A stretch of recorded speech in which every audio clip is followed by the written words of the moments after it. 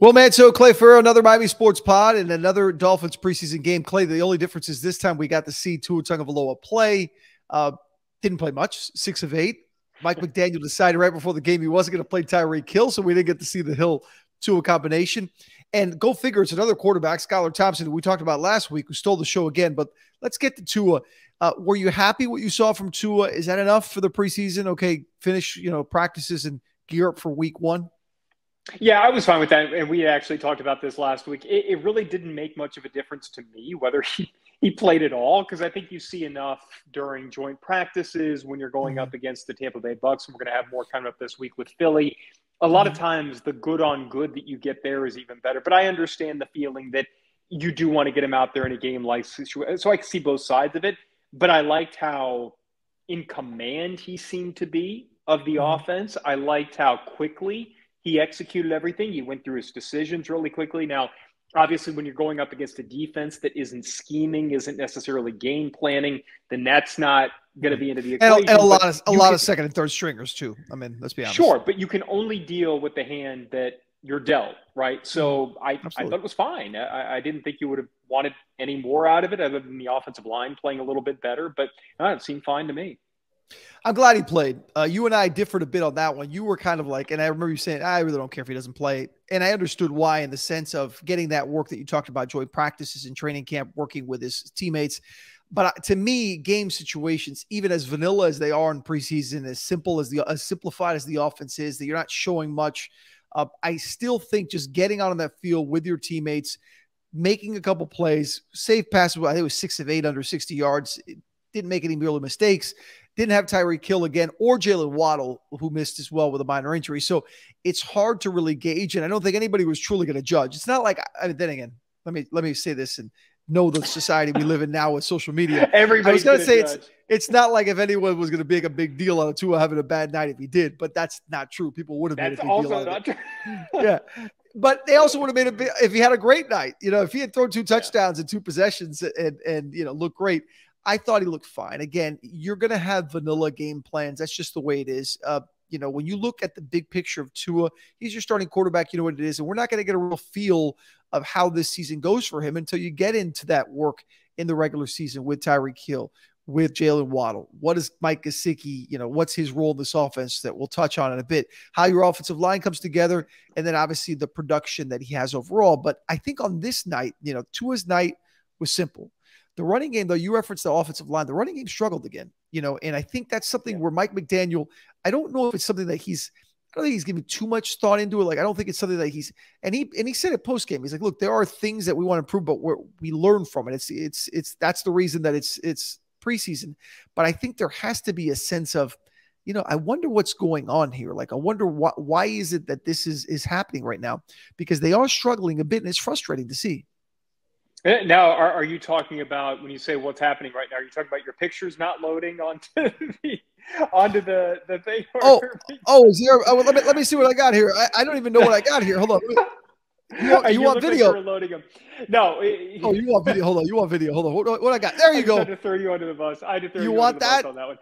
there you go. There you go. No, I look. I yes, that's disappointing. It's extremely disappointing, and and this is going to get us around to I think what's going to be a big topic of conversation for the next week and maybe beyond, and that's Mike Gesicki. And you need a tight end in this offense who can block, and and in particular block in the running game. You can't have a tight end out there who's going to be a tell.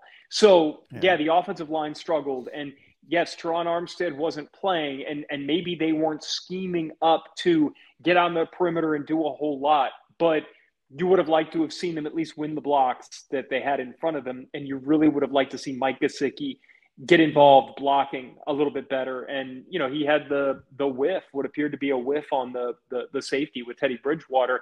So you know, the running game blocking was a problem. I, I do think that when you look at San Francisco's offense, for example, you know, we see the highlights of George Kittle and how great he is running after the catch, you know, so good in the passing game. That guy is a phenomenal blocker and a reason why they're able to do so much in the running game. And I don't know if you can have a running attack in this offense where a tight end can't block.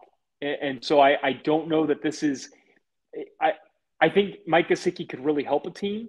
I yeah. don't know how much he's going to help this team with his skill set. It's going to be really interesting to see.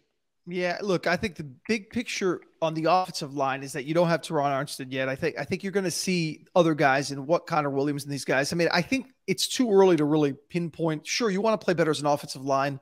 Uh, you want to give your your running backs, whoever's in there, an opportunity to run. That hasn't been the case so far in the preseason. Certainly wasn't the case on Saturday night.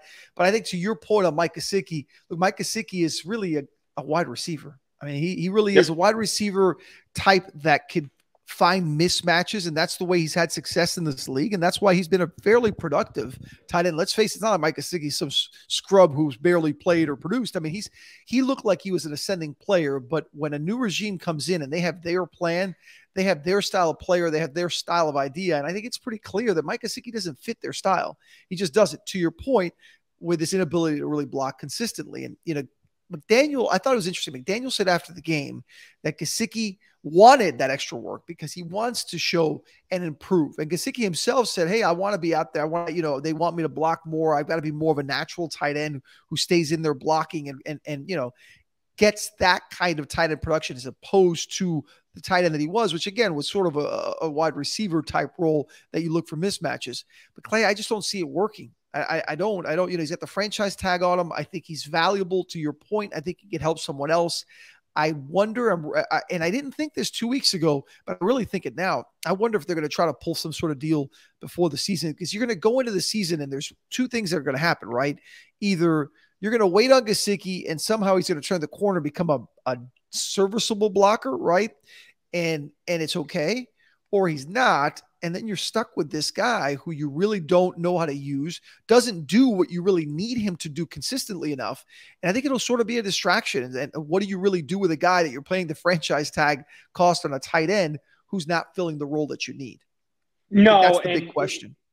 And I, I think we talked about the importance of this year in particular hey, we need to figure out if Tua Tagovailoa is our franchise quarterback. And mm-hmm. and obviously there's a lot more that goes into this, but what helps Tua Tagovailoa more. A really good pass catching tight end slash receiver flex type player mm-hmm. or a running game. And. I, I know that may be oversimplifying it, but Tua never has never had a running game since he's been in the NFL uh, no. at all. And yeah. I, the Dolphins, you could say for a long time, have been struggled to run the football. So to me, in this offense, the the best friend of Tua Tagovailoa is not going to be Tyreek Hill. It's not going to be a, a really good pass blocking, excuse me, offensive line. Tua's best friend is going to be a running game yeah. that throws off the defense to where they don't know what's coming. And unfortunately, Takes pressure off. if you put Gesicki out there, it's a tell. The other team's going to know you're At this point, ball. it is. At this point, it At is because point. I know he's trying, and McDaniel said it pretty much. He said, "Look, Mike's got some things he's got to work on. I mean, there's he's showing improvement, but there's some things he'll tell you he needs to be better about." To me, when a coach says that, and a player, again, we're talking about an established player. This isn't a rookie. This isn't a second year player who's finding his way, but it almost feels like Gesicki is a rookie because he's a rookie to this regime. He's yeah. the first times with this regime, and he doesn't have whatever is on his resume, which again has been pretty impressive, uh, isn't enough to just say to the coaches, throw him in there. He's our guy. And, I, and I'm starting to think he's not. Now, the preseason. No, and, and, look, and, and, not to cut you off, sorry, but, but I want to make one more point about this with Gesicki. he, he could really help a team. His skill set, man, there are a lot of teams in the NFL that could use that. But if you're throwing him the football, if you're drawing up a play for him, it's it's a play that Tyreek Hill doesn't get. It's a play that Jaylen Waddle doesn't get. And you know, unfortunately, it's a, it's a good problem to have with the Dolphins right now. Mm-hmm. But you've got too many players who are more explosive with the ball in their hands than Mike Gesicki. Now, Jimmy Graham was an awful blocker. And I'm a Saints fan. Jimmy Graham was phenomenal with how Sean Payton used him in that offense, but they didn't need him to go out there and block. When he was out there, yeah, you could use him show, kind of as a yeah. wide receiver, so right? Big, and yeah. so with with Gesicki, it's not that he's not a good player; it's that in this offense – that is trying to establish an identity uh, of running the football for the first time into his NFL career to take the pressure off of him. He's a tell at this point. And, you know, unless yeah. he becomes a serviceable run blocker, it's hard to see where he fits in. Well, and you know, you look at the big picture of of what you learned in the preseason too. Gesicki's one of the focal points, I think, as far as what we're learning about this team as what they may or may not be able to do with certain players or positions. I think also when you look back, Tyreek Hill is a superstar. You know what you got. You gave up a lot for him. You didn't have a first round pick. You had all these things you had to give up for it. Totally worth it to get a player of his caliber. But when you look at the picks, you know that they did make, and you look a couple of players that have stood out so far. You this is second straight week that we're talking about Skylar Thompson. And yep. Erik Ezukanma as well, you know, he's a guy that that they drafted a little earlier, obviously, than Thompson. But these are two players that all of a sudden you're looking at. Ezukanma more so than Thompson, because Thompson, you've got, you know, you've got your starting quarterback in Tua, and you've got your your your veteran backup in Bridgewater. But you've seen two players shine. You know, last week you called the, uh, the Skylar Thompson show. It continued. The Skylar Thompson show continued. I'm buying into what I see with this kid. He's really impressive. Let's start with him, Clay. Is it silly to think that this you may have found something in Skylar Thompson? No, it's it's not at all silly. I, I think the and again we get back to having good problems to have, right?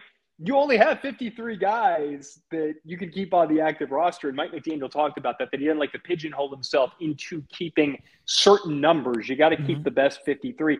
Well, they may have to carry three quarterbacks because oh, I, I think, they have let to let this guy leave the building. I, yeah, I just blown away by him. And you know, it's it's not saying that you don't think Tua can be the guy, but my goodness, look at what quality quarterbacks can get you in a trade return. If eventually, like, let's say Tua becomes a Pro Bowl, maybe even all pro level quarterback. Let's say the sky is the limit. Let's say he hits his ceiling man, look at what uh, San Francisco gave up originally for for Jimmy Garoppolo. I mean, you, you, look around what teams are willing to give up for really good quarterbacks. And oh, by the way, look, let's say Teddy Bridgewater ends up going somewhere else you know, to finish off his career. Man, you want to have somebody that can win you some football games if mm-hmm. if Tua does have to miss some time because of injury. So no, I don't think that it's it's overreacting because Will I've seen other backup quarterbacks in this preseason. I've, I've, watched Ian Book for the for the Saints. I mean, this is the guy. I mean, Dolphins fans saw him last year, and in that in that game in the Superdome, uh, and he was. You could excuse his performance in that game. He's not been good in the pre. You don't just wake up and play how Skylar Thompson has played. No, no, no, no. In That's... in in this preseason, he's got something, and yeah. you know, it, it, I, I like what I've heard about him too, where very inquisitive, somebody who's who's always asked, okay, well, why did you do this? What did you see here? Tua was talking about uh, the way he interacts. So he's somebody who really wants to get better. He clearly has the physical skill set. He clearly makes quick decisions so far. We understand, but the skill set is there, regardless of the competition level. The skill set is there, and I, I don't think you can afford to put him on the practice squad and lose him. I look at it this way, and it's something you said earlier. I'm going to tell you right now what it is. This is what it is. Because of what you said, it gave me this, and I and I give this to you. No, this is this is for you. This is a live live podcasting. Uh oh. Oh, ready? Drum roll, please. There's nothing better than the Skylar's uh... the limit. Oh. The Skylar's the limit. We need to have the prices right. This kid is impressive, I, and I've gotten to the point where you look at Mike McDaniel, what he's what he's working with. You know, last week we talked about, well, what if if he can make a guy like this look good? What is he going to do with Tua? Right? Well, I think we got to give Skylar Thompson a little more credit. I'm not going to sit here and over exaggerate from two preseason games and say this guy's a starting quarterback at the NFL in the future, but I'm not not going to. I mean, I, I think he could very well be the kind of player that in the right system and you see players along the league develop. Not every starting quarterback in the NFL is a first round pick. Not every starting quarterback in the NFL was a blue chip prospect that everybody expected to be a starter. Last week, I compared him a bit like maybe he's going to have a, a, career like a Colt McCoy or Ryan Fitzpatrick or that kind of quarterback that bounces around and is a good backup. But maybe, just maybe, he's going to be more than that. And I think his poise in the pocket, his his ability to make throws in the tight windows, you see something in him that looks more than just a seventh round pick who's kind of going through the motions and possibly fighting for a job in training camp. He looks like a player who can actually really develop. And not saying we see Aaron Rodgers, not saying we see Patrick Mahomes, but I think the Dolphins have really found something in him. And I think that's something that you take away from this preseason. Now, the people that have been tweeting at me, I'm sure you as well, and saying, oh, Tua better watch his back. He's going to get benched. Tua Tagovailoa is not getting benched for Skylar Thompson. The only way Tua Tagovailoa is ever getting benched is if he struggles or gets hurt. And by the way, if he does, Teddy Bridgewater is playing. And the only way Skylar Thompson ever sees the game is if there's a lot of injuries in that office of you know, for, uh, for that quarterback room. But I do think that from a development standpoint, it's one of the better storylines so far uh, that has happened with this team right now because he is looking like an NFL quarterback. He looks comfortable, and I think you found something there. Well, and I, I'm going to look it up right now what Teddy Bridgewater's salary is because this is another in a salary cap league. This is mm-hmm. super important. If you have a seventh round pick on your roster that you're comfortable oh, yeah. as your backup quarterback, and I'm looking right now, so he signed a one year, six and a half million dollar contract. Six and a half million dollars in the NFL and uh, under your salary cap, like you cut that down to what a seventh round pick is making. I mean, that's yeah. there's more to having a quarterback, a backup quarterback that you have a lot of faith in than just oh well hey he's a seventh round pick and and you know maybe he's able to start a game mm-hmm. or two. You're talking about salary cap implications. Eventually you're going to have to pay a starting quarterback maybe, maybe Tua who's still on his rookie deal. Maybe he does prove to be a a franchise type quarterback. You're going to have to pay him like that. You know you see the deal that Kyler Murray just got.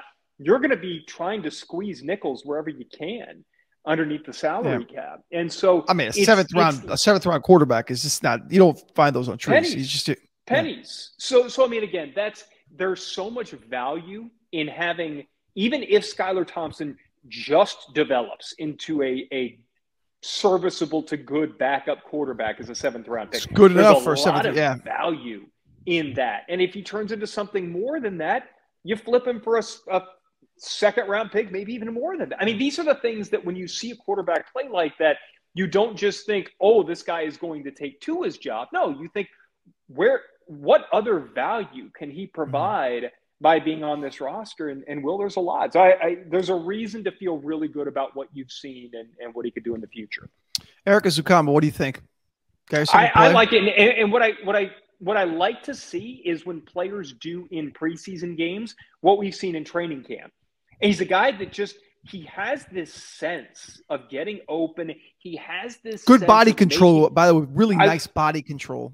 I was going to say the contested he now still a lot of raw there. You know, there's still still some refinement that can happen. But man, you talk about a, a developmental type prospect and a guy that can really go out there. I like what I've seen out of Trent Sherfield. I mean, yeah. this is, and again, this gets back to the Mike Gesicki conversation where you have so many guys who you're comfortable, confident in as receivers that having a tight end making $10 million that you're just going to kick out and play at wide receiver That's doesn't make a whole lot of style. sense. Yeah. So anyway, not, not to, not to go up, go back on, on what's potentially negative. I mean, it's a positive, but it, because you have so many of these receivers, like you feel so good about that room. I mean, we, we already talked about Tyreek Hill, Jaylen Waddle. Cedric Wilson's a name we barely even mentioned to this point, and I think he's somebody who can can contribute to this. Who are your four receivers? Who are your first who are your first four receivers? Obviously Hill and Waddle, and then you get Cedric oh. Wilson. Who's four? Is it Ezukanma? I mean, who's your fourth receiver?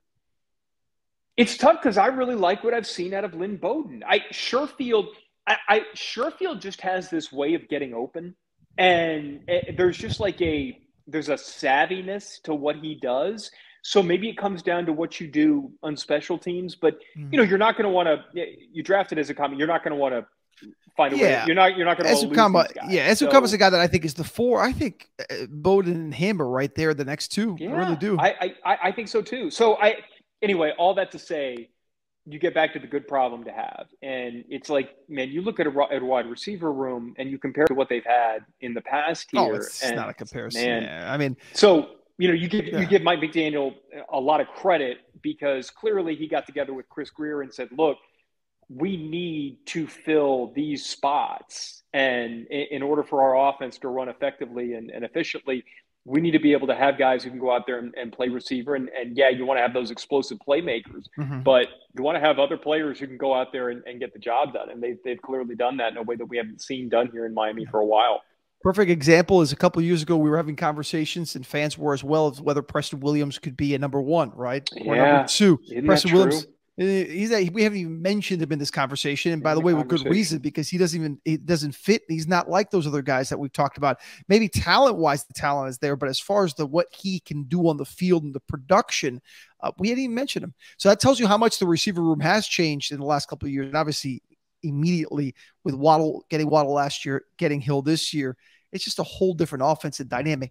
Clay, I want to end the Dolphin talk by talking about the, you know, what would be your plan for the preseason finale? You're seeing a lot of injuries around the league. You're seeing some headaches around the league. Would you just say, hey, shut it down, play yep. the kids, and let's move on to game one?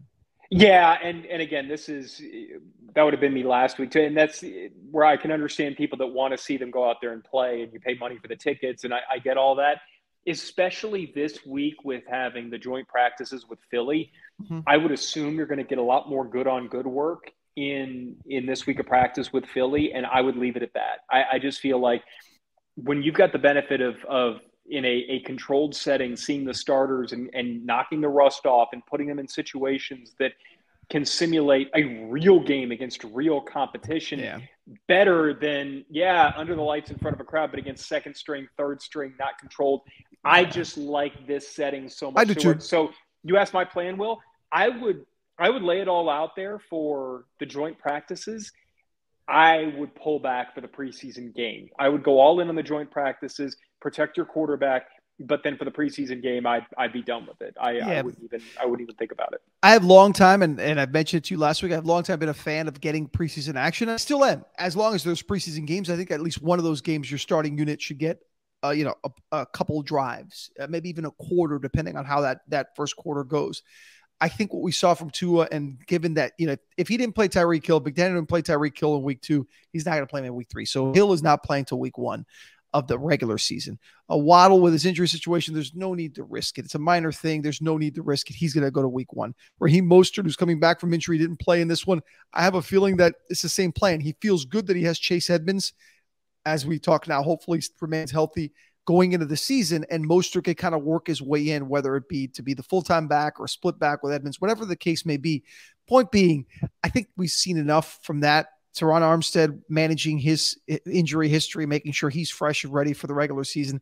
I think to your point on joint practices, I really think that there's going to be a day where we may not have preseason games anymore, yeah. where it may just be joint practices where fans pay to watch joint practices during the week. Maybe a couple of them, you, you pay a ticket, you see your favorite players, you get a few autographs. It's great, a little more intimate setting. I understand the money part of it because preseason games still make money and you have broadcast deals and all that stuff, but they're becoming pretty useless. Uh, the yep. way coaches are coaching them, and I get young players get to play, it's cool, but for the sake of what a team wants to be, they're really not serving much purpose right now. Certainly not for the, the players that you're going to see when it matters in a few weeks in week one. All right. So that's the Dolphins conversation. I want to take a moment to talk about something else that happened, and that is the return of Udonis Haslem. UD back for 20th season with the Miami Heat. It is his final season. So I would call it the last dance. This isn't like Dwyane Wade. This is it. But I was happy for one to see him make this announcement because I, I love UD. I think anybody who's a Heat fan loves UD. And can I say something, Clay? I'm tired, so tired of this theory, right? That Udonis Haslem is is screwing up the Heat and he's holding back a young developmental player because he keeps coming back and now he's coming back again for one final season. Let me just say it as clear as day. He made the announcement there at his alma mater, Miami Senior High, during one of his foundation events, a kids camp and cheer camp. He's coming back. His dad, who passed away about a year ago, uh, he had promised and they'd long discussed that he'd play a 20th season. His dad would be there on the court for the final games. And obviously, that's eating away at UD because with his dad gone, that's not possible. But he wanted to kind of finish that dream and give that to his dad. But what I want to tell fans is this Udonis Haslem is not holding anybody back. And if you think that you're, I mean, it's ridiculous to think that. He's not holding anybody back. This is something the Miami Dolphins want or the Miami uh, Heat want. They want Udonis Haslem as part of their organization as a player because his role near the end of the bench is, is something that it's not coaching. Coaching is breaking down film, scouting, devising game plans, in game timeout management, and schemes. What a team's doing. When do you want to go to zone? All those things. And Haslem, when you look at what he is for this team, he's a hard worker behind the scenes, in the weight room, on the court, pushing players giving it his all.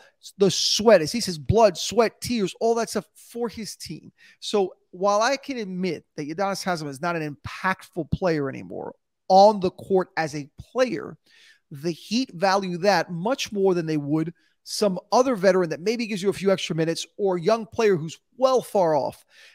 Udonis Haslem has had much to do with the development of these players that we're mentioning as as anyone, as anyone on those teams, because he's been there with them to teach them the work ethic behind the scenes, what it's like. That's not what coaches do. That's what players do. And in a veteran player's case like UD, he's doing it for one last round. And I and I can't imagine that anybody should ever have a problem with that because I know the Heat don't. It, it just always boggles my mind that people think they know better than what's going on inside that. Yeah, he's holding and, Pat and Riley. He's holding him hostage. He can't tell UD to go.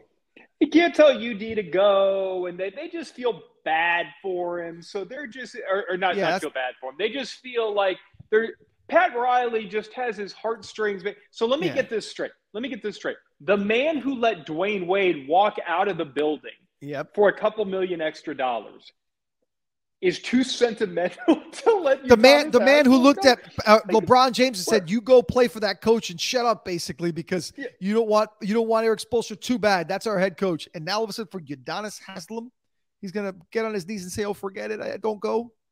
Pat Riley would cut his own mother off the team if it gave them a better chance to win a championship. Yeah. So you don't know better than he does when it comes to this specific thing because you don't know the value that he adds. The, the one thing that that the more you're you're in this business, well, I know you can kind of attest to this. You you learn more about what you don't know than what you know, mm-hmm. and I think the one thing that that I wish I could tell my younger self is quit like acting like you know something because you don't and you have no clue what goes on inside those buildings and so if they thought that it was better for the organization to gently escort him out as it a player, happened. they would happened. find a way to do that. But it's not the case. There's a they lot tell him too bad. Clearly adds. They would yes. tell him too bad. They would say, "You did. Yes. We love you. You'll always be a part of our organization, but you got to go." I mean, that's what they would say to him. You think that they be, that they're not saying that that they believe that, but they're afraid and they want you to know. They know the value of him and they value. So, anyways, I just wanted to get that off my chest because I'm happy UD's coming back, and we'll talk more basketball. It, it's it's incredible that here we are, Clay, in in mid to late August, right? And football season's about to start, and training camp in the NBA starts in about a month or so, a little over a month. Yeah.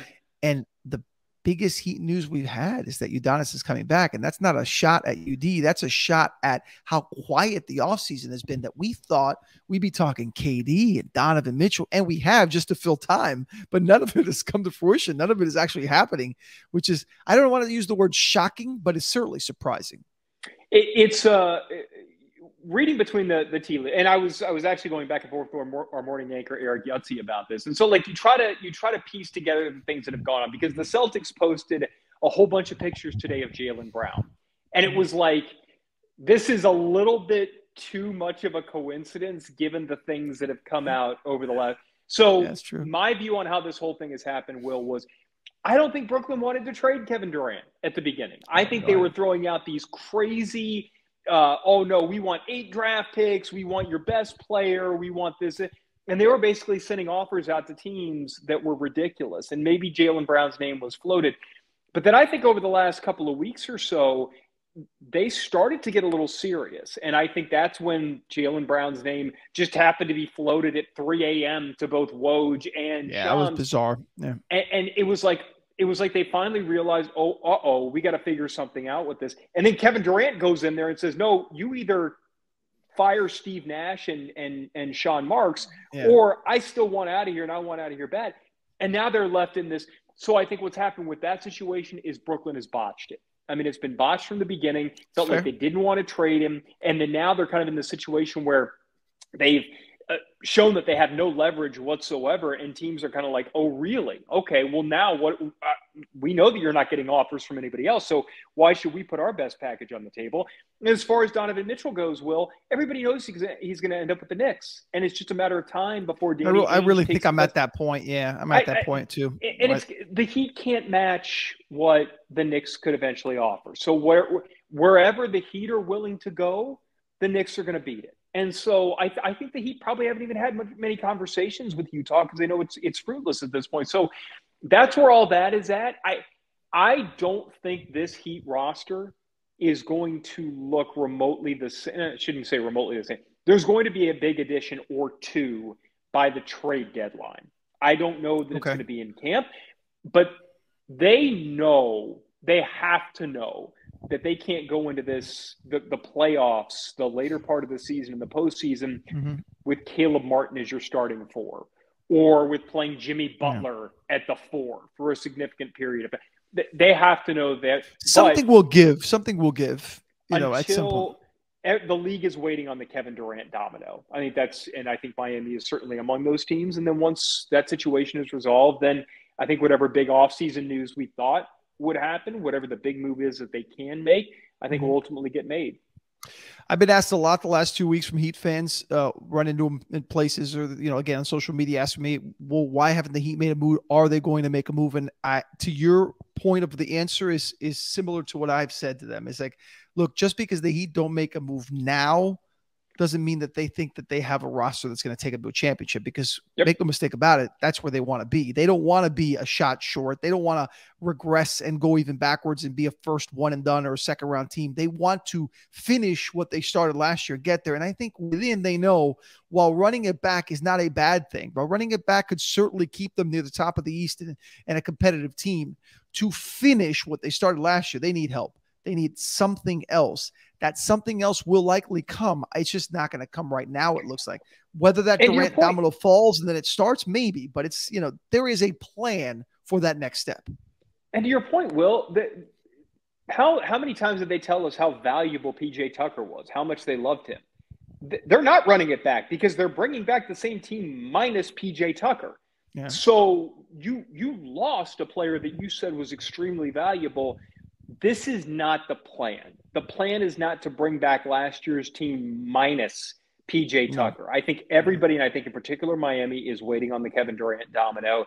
And then whether he's traded or the situation is resolved or the Heat are clear that they are not going to be able to match another team's best offer, they're going to yeah. wait for that. The second that happens, they'll either have Kevin Durant or they'll move on to whatever the next plan is. Yeah, and I, look, and I think there is also going to be a a, a I think the truth will come out of what this roster is as the season goes on. If you open up with a roster that's similar to the construction they have right now, as the first couple months pass, you're going to say, okay, so what is Victor Oladipo? Is he truly back to being what he was before and can take that next step and make you better? What is Caleb Martin over extended periods of time and not just in certain spots? What do you have in Omer Yurtseven? Is is is he someone that actually could entice a person to along whether Tyler Herro is the big piece to throw in a big body like Omer. I mean, these are things that I think while they remain competitive the first few months, you'll kind of find out. And if by December, January, Oladipo's averaging 28 game and he looks like the old Oladipo and Caleb Martin's a force and playing well and uh, Yurtseven's getting you good minutes and Tyler's still that great six man whether he's starting, whatever the case may be, then I think you get a better picture of your assets and a better idea of what you're maybe needing to fill. From this is not like it's a bad team. I mean, let's not act like the Heat are a bad team. They're just a team that was on the cusp of playing for a championship that now looks like they've sort of gone, like you said, I don't want to say regress, but certainly kind of flatlined a bit. You know what I mean? Like it's not, eh, it's not a team that you look and say, wow, they've gotten significantly better. I don't think anybody could tell you that with a straight face. So I think that's the next step. Find out what you have and go from there. It's a team that's good enough to win games while you figure out what the next move is. And yeah, and I, I, I, just I and that's why I think they're going to go as long as they can, just kind of keeping the ship afloat, staying as close as they can to to the top two or three seeds in the East with this current roster. And then once you know what's available to you, yeah. whether it's Kevin Durant, Donovan Mitchell, uh, Jaylen Brown ended up in that in that Kevin Durant yeah. trade, and they wanted Brooklyn wanted to flip him. Whatever it is, you can win games with this team until you figure that out. But but you not, not going to win a championship yeah. with this team. I agree but with will, you. And this goes back to what I was saying with, about UD. If you're a fan sitting at home and you know that, I guarantee you Pat Riley knows it. I guarantee you Andy Elisburg knows it. They're working on oh, this. they just yeah, of course. It's just nonstop. not there yet. Yeah, yeah, they're not going to sit there and come out and say, I don't think this is a good enough team. We, we screwed up the offseason when things haven't gone to plan. I don't think any of that's true. I don't think they've screwed up anything. I think just the, the offseason has been a very quiet, uncharacteristically quiet offseason. But trust me, there will be moves that will be made. And as you said, it could be right around the deadline, maybe before. But Heat basketball is right around the corner, and Udonis Haslem will be a part of it. You can always reach me at Will Manso. You see it there. Clay's at Clay WPLG. Always appreciate listening to the Miami Sports Pod. We'll be back next week as we look ahead to the regular season with the Dolphins' final preseason game.